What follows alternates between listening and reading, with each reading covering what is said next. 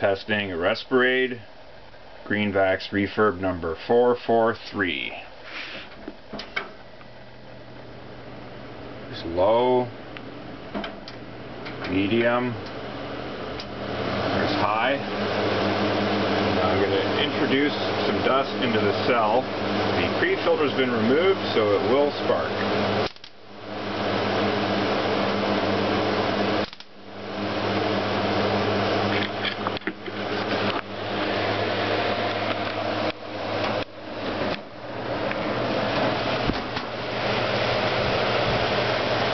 You can smell the ions.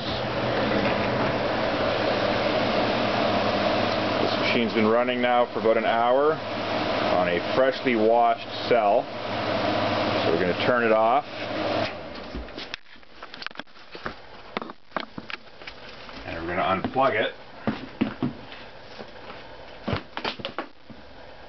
And we're going to give that cell a minute so we don't get a spark or a shock.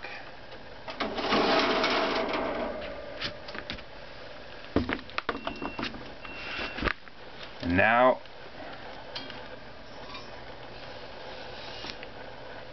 we've got dust. So it's working good.